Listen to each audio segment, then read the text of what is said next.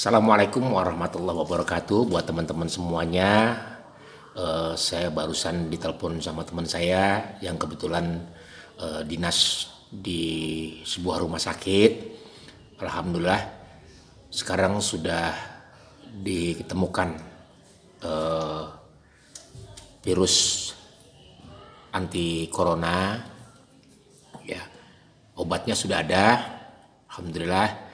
Jadi buat teman-teman yang dari dunia entertain maupun bikers udah bisa berlapang dada ya udah bisa bergembira lah ya bahwa sekarang sudah ditemukan obatnya. Obatnya apa ya?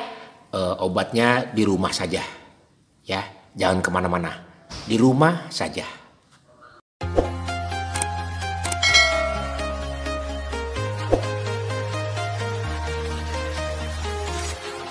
Walking alone, the streets are empty. The only thing I can see is my own silhouette.